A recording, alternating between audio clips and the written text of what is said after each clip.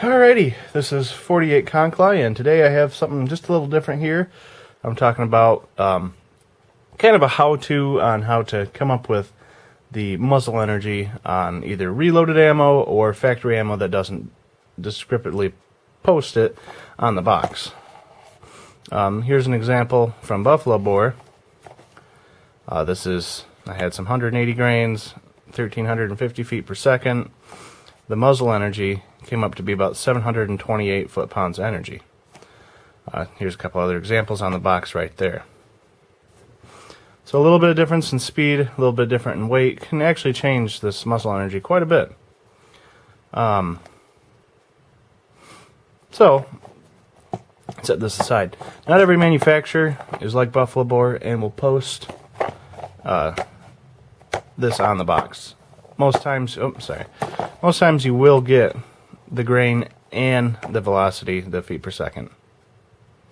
So, if you want to try to figure out how much your muzzle energy is, uh, there's a very simple formula that um, is kind of derived from the from a formula that's used a lot of times in Europe and abroad uh, with you know figuring out the joules and uh, it's just a little bit different but the US version is definitely probably a lot easier. Maybe not as technical, but it does work for getting these numbers. Uh, so that formula is energy with mass times velocity squared divided by k. Now, k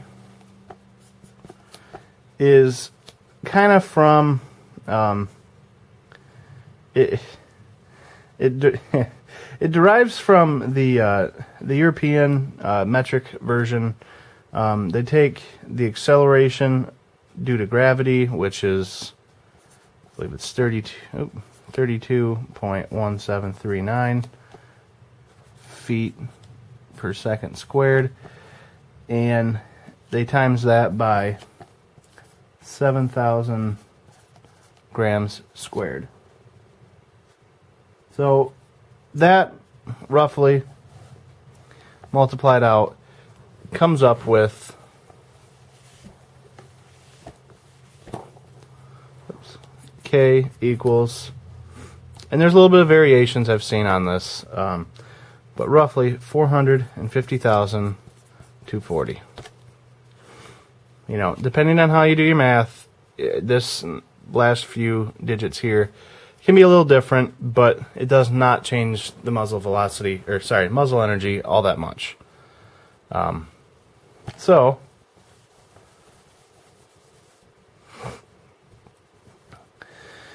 in terms of like the most common way that you'll see it done,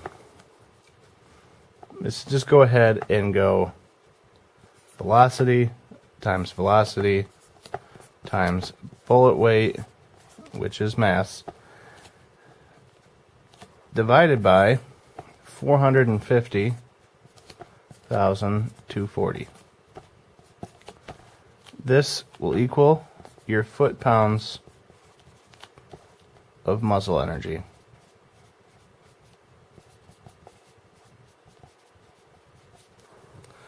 So pretty simple. Um, the the like I said, the European metric is a lot more precise. You know, if you're going to try to come up with uh, figures for aerospace and whatnot, um, maybe you'd want to use that. But this is just for a typical reloader and uh, just trying to figure out what your bullets are putting out.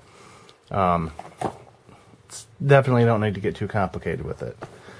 Uh, so I'm going to just do a quick example here. Um, I did some 10 millimeter reloads, and I was getting around 1250 feet per second.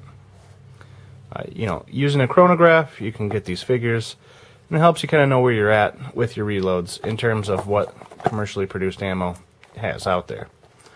So I'm going to go ahead, make this simple, and that was a 180 grain bullet.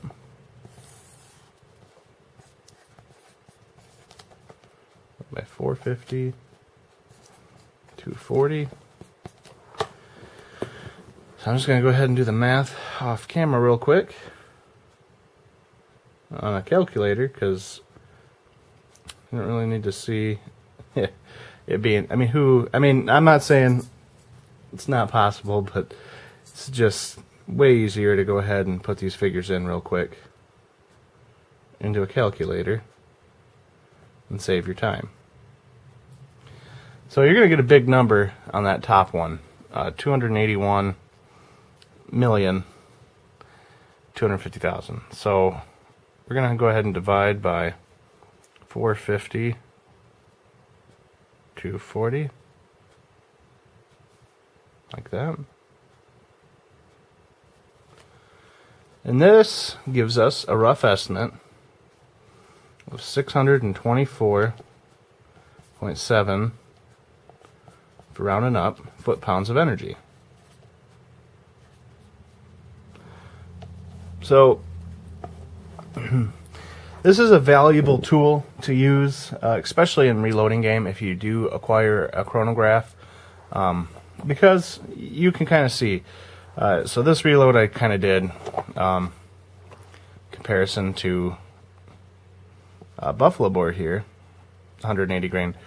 They're obviously pushing theirs at quite a well 100 foot per second faster. So you know, there's a big difference there. You got about 100 foot per second faster and 100 foot-pounds more energy. Um, but this is a fairly warm load, considering that most of the 10 mil ammo that's produced is only going about 1,000 feet per second, and you know that only puts it around roughly in the mid to high 400s. So, you know, like I said, is it'd still be a good round. Um, but as far as reloaders go, those kind of these figures do help you kind of tone in, hone in, and see what you got. Um,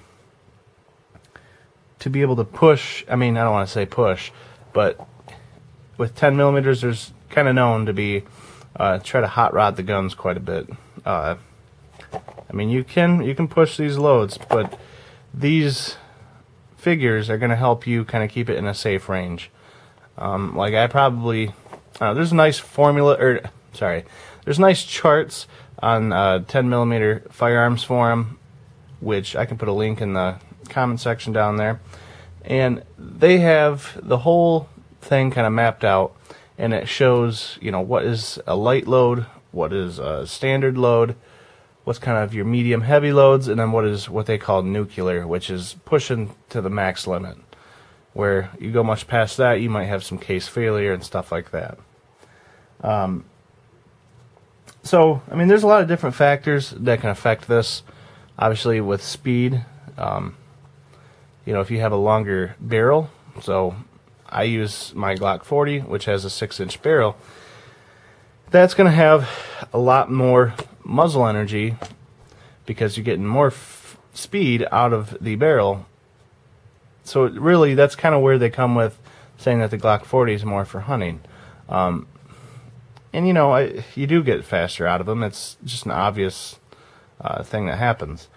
Um, is this a foolproof method to kind of say, oh, my bullet's more powerful than you know your bullet, or my ammo is better than your ammo? No, there's a lot of different factors. Um, if you want to get real complicated into it, you can bring up the whole sectional density, uh, which is about you know the weight of the bullet, and for the smaller size, so you're going to get more of a harder punch, not so spread out. Um, but like I said, as far as reloading, it's a very valuable tool, and uh, like I said, it's real easy to figure out here. Um, the math is easy. If you got a chronograph, real easy to get these numbers. Or if you just buy some manufactured ammo. Uh, I don't think American Eagle puts muzzle energy, but you can go ahead and see kind of what you're getting with on the muzzle energy right here. Um, this does help, and it's kind of a nice tool to know how to use, and uh, can definitely help you plug in your loads and get them really zeroed in for what you want to do with them. So, All right, if you like videos like this, um, I'd be more than happy to try to make a few more, uh, kind of pertaining to some of this math here. Um, am I an expert in the subject? No, but this is pretty pretty simple stuff. Um, like I said, it's not rocket science. It's just taking the formula, plugging in the numbers. Um, these formulas, there's other things you can find out, uh, but you know they're all posted online. Like this one was pretty easy to get online.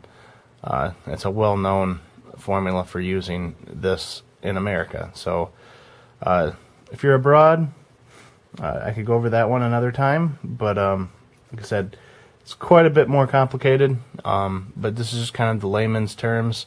This is how you come up with the muzzle energy. So uh, thanks for watching.